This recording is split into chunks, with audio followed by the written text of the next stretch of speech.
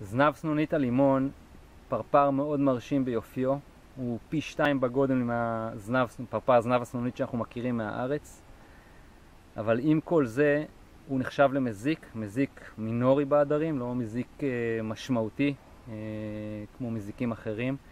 לאחרונה הוא הותר לראשונה בארץ בקיבוץ אפיק ברמת הגולן, ומה שאני רוצה להגיד לכם היום זה שעם ניטור מקדים ניתן לטפל במזיק הזה עם תכשירים ביולוגיים בלבד.